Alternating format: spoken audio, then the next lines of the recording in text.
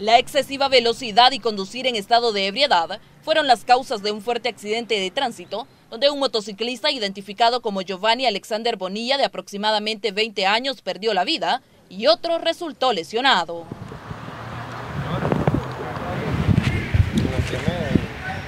El hecho ocurrió entre el Paseo General Escalón y la 71 Avenida Norte en San Salvador. Según la versión policial, ambos motociclistas competían a alta velocidad cuando impactaron con la parte trasera de dos vehículos particulares que se encontraban haciendo un alto en el semáforo. Estábamos en el alto, estábamos eh, esperando que cambiara y en eso pues prácticamente yo venía muy rápido porque no lo vimos, solo, yo solo sentí el impacto y me movió el vehículo, ¿verdad? Y luego de eso me bajé y ya vi las motocicletas en el piso. Y el otro camión, pues el golpe también que sufrió.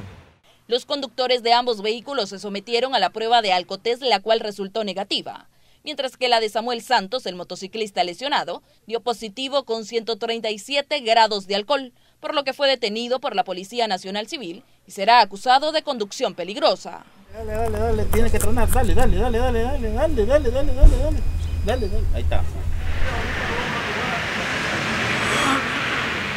Debido a este hecho, el paso vehicular fue cerrado en ambas arterias, generando un fuerte tráfico en los alrededores. A la fecha se reportan 2.389 accidentes viales provocados por motociclistas, que han dejado como resultado más de 357 fallecidos. Otro siniestro vial se reportó en el centro de San Salvador sobre la primera calle Poniente, entre la séptima y novena Avenida Norte. En el lugar, una persona de la tercera edad fue atropellada por una unidad de la Ruta 29F que hace su recorrido desde Ilopango hasta San Salvador.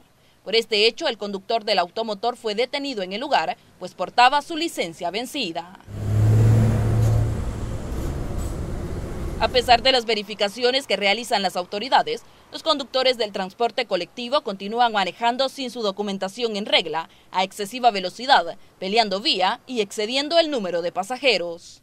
Este es un informe de Rocío Cruz para Noticiero Hechos.